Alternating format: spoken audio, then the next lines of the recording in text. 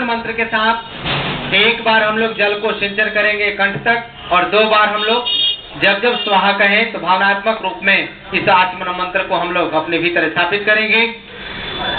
ओम अमृतोपसरणमसी स्वाहा। पूरा पी जाइए। अंदर डाल दीजिए। ओम अमृता पिधानमसी स्वाहा। सत्यमे श्रीर्मय श्री श्रेता स्वाहा। हाथ को किनारे करके आपस में रगड़ करके और मानसिक रूप से शुद्ध कर लेते हैं।